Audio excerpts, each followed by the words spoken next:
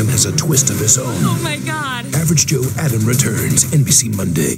Your home is a safe place for your child, but your computer might not be. Know where they're going online. Brought to you by Jordan Ford.